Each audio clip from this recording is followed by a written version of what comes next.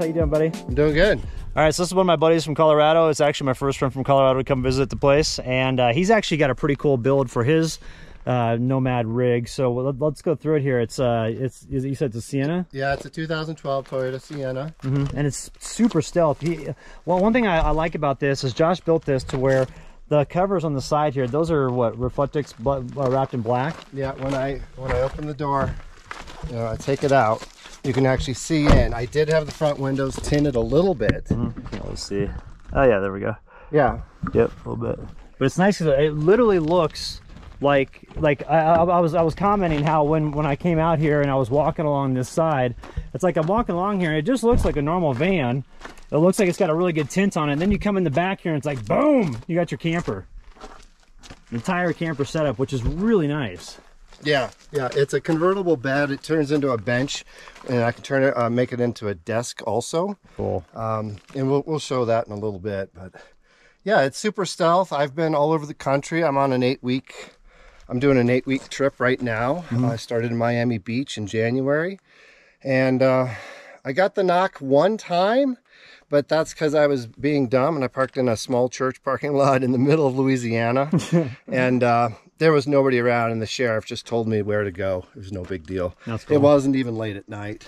But other than that, I've, I've been able to camp in uh, on Main Street, Palm Beach, uh, next to lighthouses. I've been able to camp in some of the craziest areas and nobody knows I'm in there. That's awesome, man. Yeah, neighborhoods is great you see cars parked on the side of the road, I just pull up behind them and mm -hmm. and uh, crawl in the back and throw my blackout up, and nobody knows I'm there all night long. Someone's coming behind you here. Oh, what's up, girl? Oh, what are you doing? what are you doing, sweetie? Come here. Come here. You want to help us out? She's showing off for you. Yeah, she is. So uh, let's go through your walkthrough here and, and, and, explain to us that this is obviously the sleep mode, but explain to us what you did and how you how you didn't make any modifications to the actual vehicle itself. Yeah, nothing. There's no screw in the side of the in the side of the plastic. I didn't remove any carpeting. All I removed was uh, all I removed was the the seats that were in it. Um, I formed all the all the um, panels, all the shelving to work around around the curvatures so that if it shimmies and shakes, nothing's rubbing and, and making a hole or anything like that. Okay. So um, so is this is this secured down to like a base foundation? Is that how yeah, you got it? Okay. Well, let me show you the uh, the Sienna has the fold away seats. So and those are the ones that store down in the in like the floor, right? Right. And so on the platform, you can see that it, it actually drops down. Oh yeah, it goes way down there. Yeah, it goes way down there, and I have all kinds of storage. It goes down about like a foot. Oh, if not more. That's that's really awesome. That's a ton of storage. Wow. Yeah. And that's, a, that's a substantial amount. Jeez, dude, that goes way that. That's like a spare tire area. Yeah, definitely. Wow. Okay, that, that, that helps. I was wondering, like, how are you rolling so minimal? Thinking, like, you have nothing with you? And this makes sense. Well, I, I keep everything that I'm not going to use often under here, so I really don't get underneath here very often. Yeah, I even it's nice, a, so it's, it's, out of the way. But then when you need it, you can access. It. Exactly. I, I, have an electric fryer under there too that I can use. Oh, nice. If I don't want to get the camp stove going. Mm hmm Um. So yeah, this like this panel here, it goes down below the rest of the floor. Mm -hmm. So if I stop real hard, this isn't going anywhere. Okay. That's and, cool. Oh, I think my plate Except your plate. Except my plate. that was on the countertop. And then these are nice because you've got these you said these you get these from like Walmart or something like that for, for no, pretty cheap? I, I, yeah. The mattress is an old mattress. It's a mattress I got on Amazon probably six years ago. Mm. It was a queen size. Um, I cut it to fit. And then I ordered these covers uh, online. It was only $50 for four covers. And they're like a universal fit cover. Mm -hmm. um, I just had to get the the medium or large or whatever it was for the dimensions of every every cushion. Now every cushion is also the same size in the bed. So they don't wear out as easy because I can take That's really comfortable, man. This one and move it here and and and whatnot, yeah, mix go and back match and forth. That's really comfy. Yeah.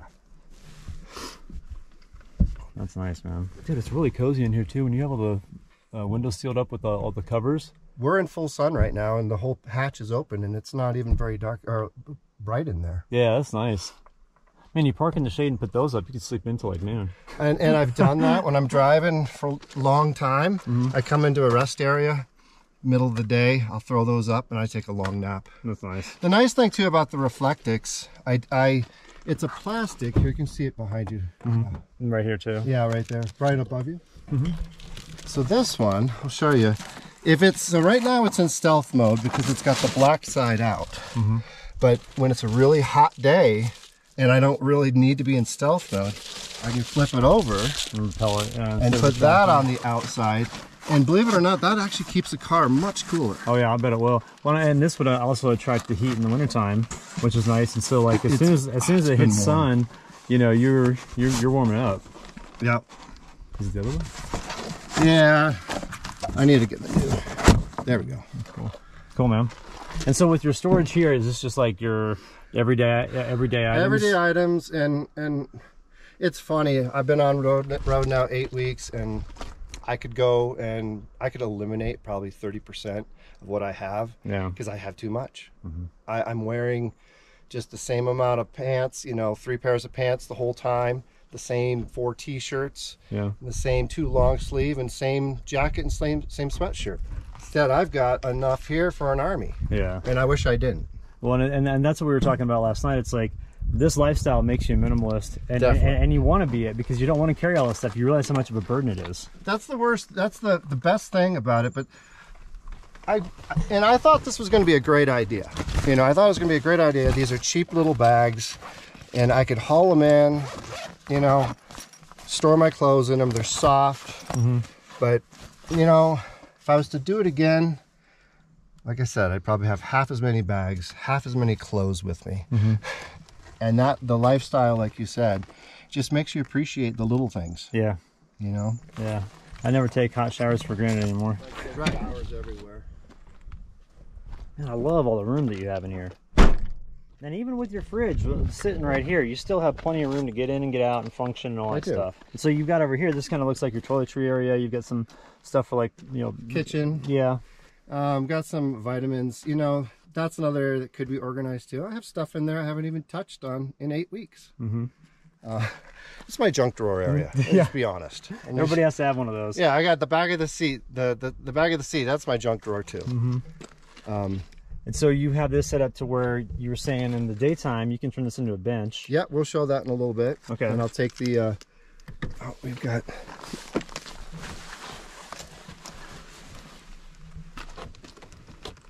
But uh, Like Yeah. you have like a little workspace there.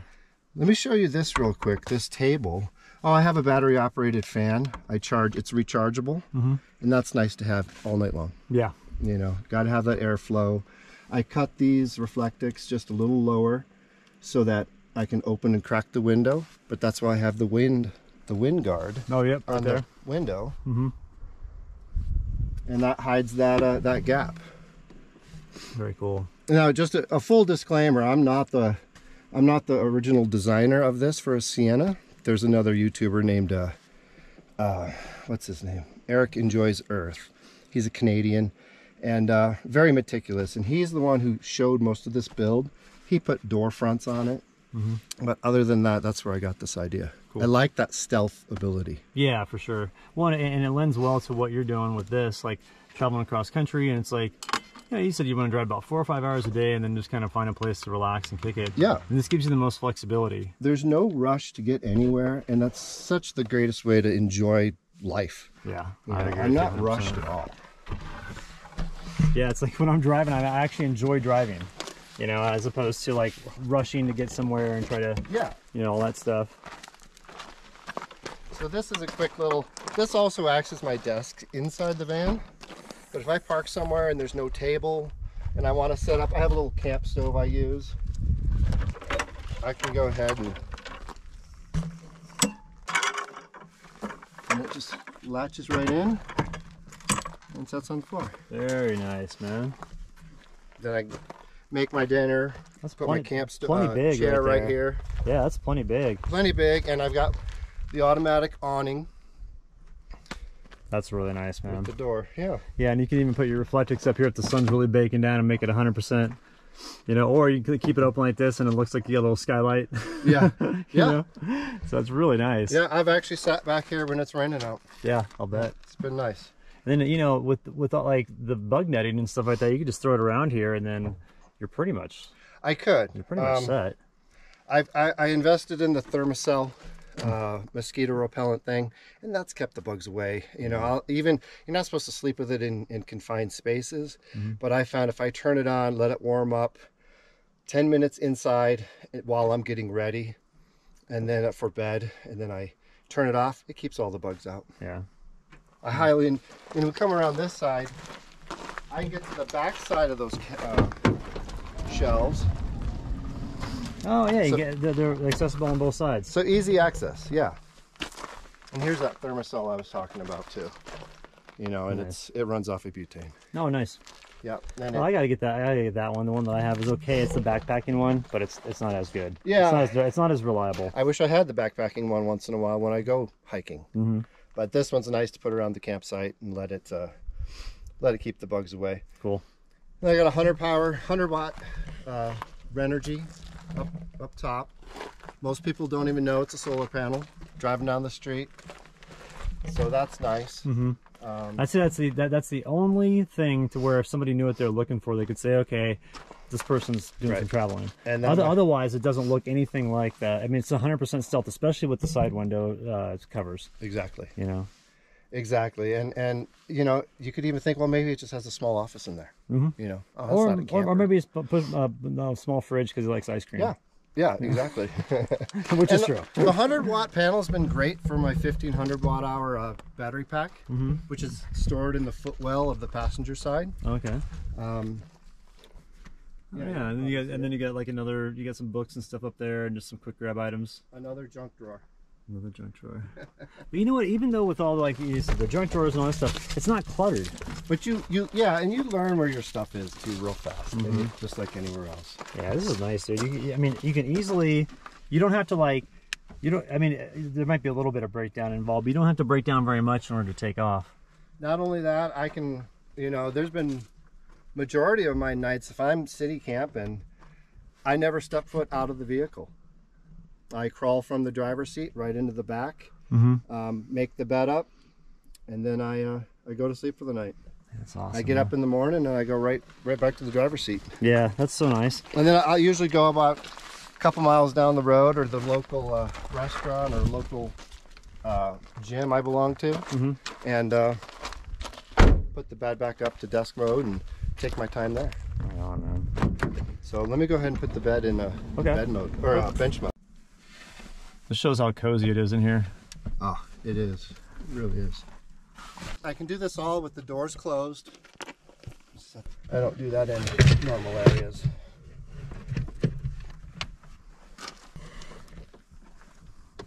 Looking good.